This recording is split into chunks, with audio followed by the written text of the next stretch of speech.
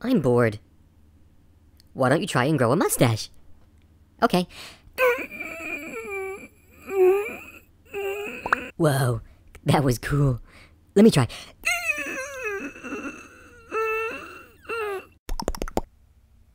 Dang it. All I got was his ear hair.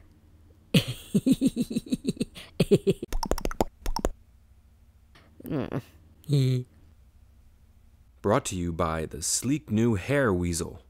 Hair removal just got civilized. All right, now hold still. Be gentle. Ow, stop. It burns. It burns. You're killing me. Results may vary.